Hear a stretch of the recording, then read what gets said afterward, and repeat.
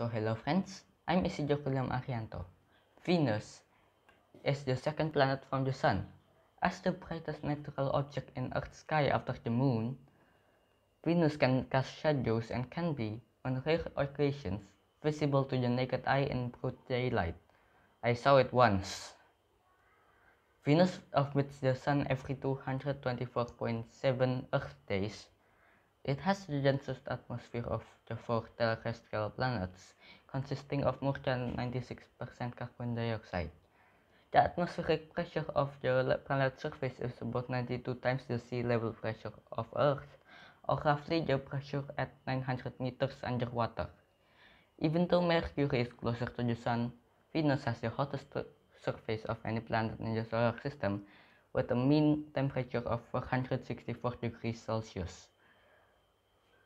Why? Greenhouse gases. Carbon dioxide is one of the greenhouse gases. It traps heat inside. So yeah, that's it. Thank you for watching and goodbye.